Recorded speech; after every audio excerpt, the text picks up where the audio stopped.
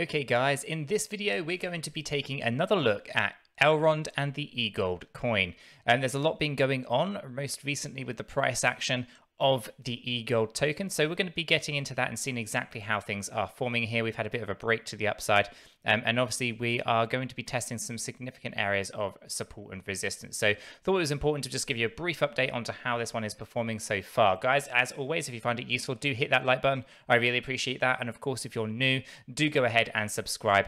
And when doing so, make sure you hit the bell, tap on all, and you won't miss any more videos from Cheeky Crypto. Right. With that said, let's um let's take a look at what is going on. Obviously, you can see that the most recent few days we've had a good push to the upside, retesting some key areas of support and another push today. Um, so obviously, as we go through the volume on here, you can see how the volume was actually starting to increase. So good sentiment here for eGold. And again, this is aligned to what we talk about when uh, we have a look at the EVI dashboard. Um, so we'll just jump over to Elrond here pretty briefly. We did this uh, on the stream last night. Um, and again, the expectations um, last night were actually to trade sideways for a little bit. Um, that obviously seems to be the, the opposite of what's going on, right? So from a fear and greed index point of view, we're up at A1, okay? An A1 rating for, for fear and greed index when Bitcoin and Ethereum are all rated D is quite unusual. So there is little fear here for Elrond and the E Gold coin, according to the artificial intelligence from EVI. And again, when we actually take a look at the chart, you can see just how spot on accurate it was yesterday, with uh, with actually saying things were looking pretty good for eGold and to, to potentially continue this motion to the upside. Now, what you can see if we zoom on in here on this daily chart for, for Elrond is uh, the volume, right? We can obviously see the volumes are smaller than they have been previously, but the sentiment change has been has been here, right? We see there's an increase in volume when it comes to purchasing. And every time there's a, a bit of a, a, dip here, we can see that there was a decrease most recently just here.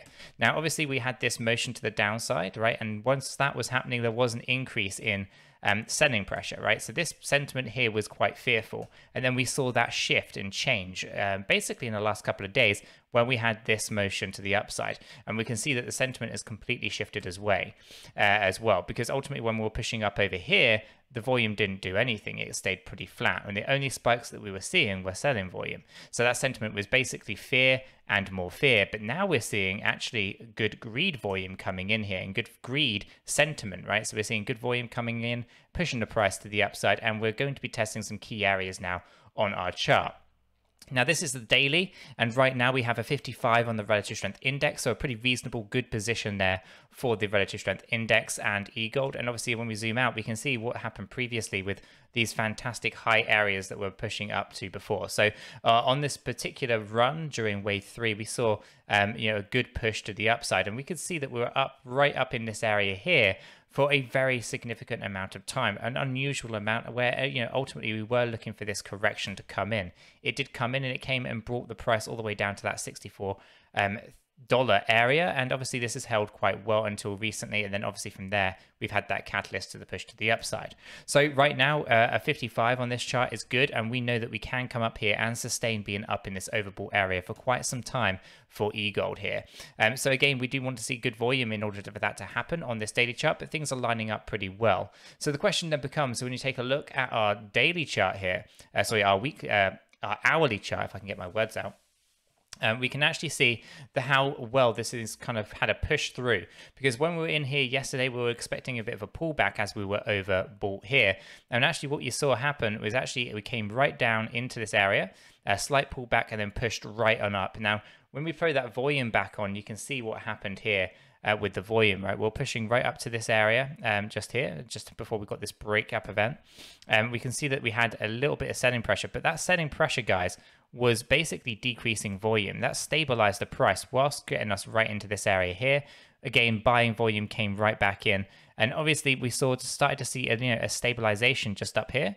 And, and ultimately, what that meant was because the volumes were low and was mixed between buying and selling, i.e., keeping the price up in this band, we saw the relative strength index actually drop all the way down here. So, other than a few pockets of, uh, of selling volume, we actually got a, a good test area here and basically held this really, really well, keeping this nice and trading low um, with that low volume meant that ultimately it didn't take much good positive volume to come in to push that price to the upside.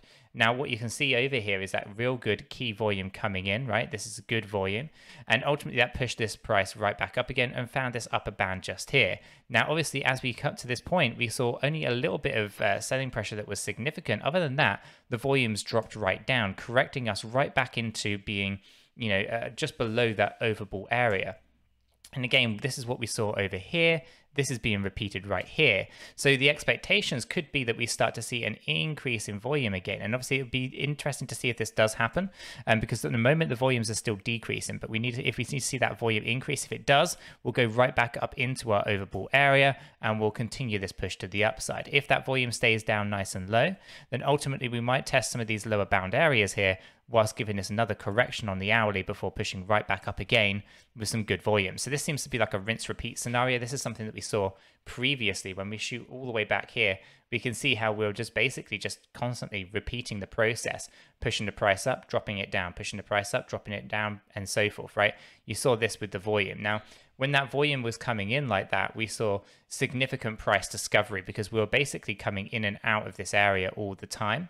Um, and ultimately, that was allowing us to stabilize, push up, stabilize, push up, stabilize, and push up. Um, and again, if that is where eGold is in that cycle right now, this could be a real interesting recovery for the Elrond coin. Um, so what we're going to quickly do here is just show you some of those key areas for us. So right now, there is an interesting area right here.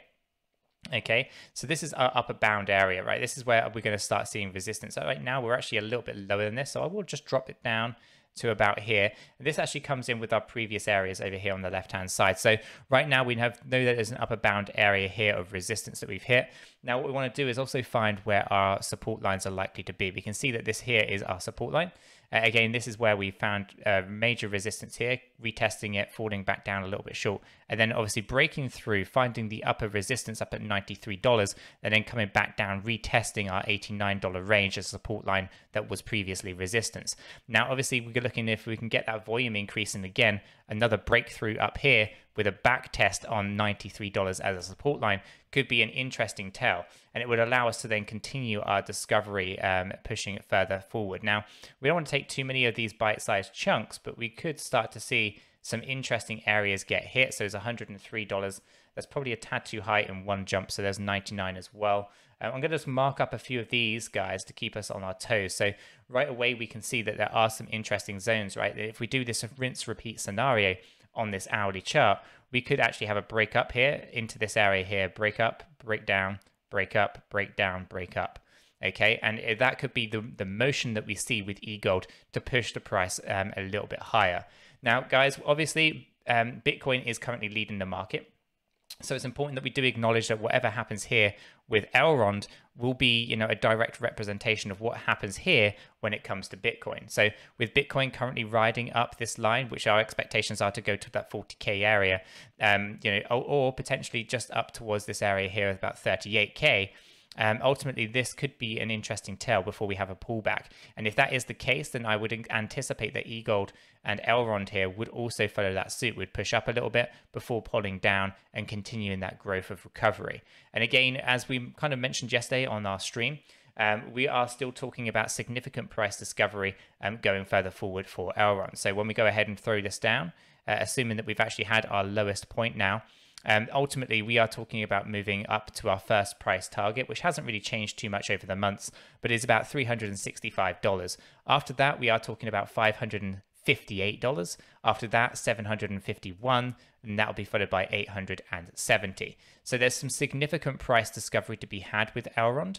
Um, personally, I feel that uh, you know a nice comfortable zone is going to be somewhere between the 550 and 750 range. Um, and that'll be a pretty good, interesting point. But obviously, depending on what your exit strategies are, uh, obviously, I'm not a financial advisor, but my exit strategies would be to basically be selling on the way up. Um, pretty basic, I know, but there's some key areas here on this journey to the upside that I would be um, focusing in on. I wouldn't be holding out for um, a thousand dollar eGold or $2,000, $10,000 e-gold, not this cycle. I would be keeping some reserves in the tank just in case those scenarios do crop up, but I would be selling and locking in some profits on the way up to those uh, specific price targets that we've just spoken about.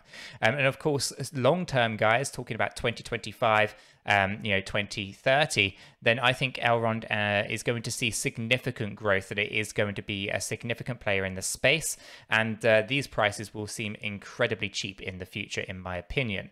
Um, so again, uh, some of you might be just thinking, I'll just hodl all my way through dollar cost average better positions over the next five years, and I think that would also be a pretty sound way to go as well. I do intend on dollar cost averaging during the bear market on eGold and building up a very solid position into the next bull run as well. Um, so, guys, hopefully you found this brief update on Elrond useful and informative. If you have, definitely do go ahead and give me a like. I really appreciate that. Of course, if you're new, make sure you're subscribed, hit the bell, tap on all, and you will be kept up to date with absolutely everything that we do here at Cheeky Crypto. It is free. You'll stay well informed. So, why not? With that said, done and out the way, guys, I hope you have a fantastic day, and I'll catch you in the next one.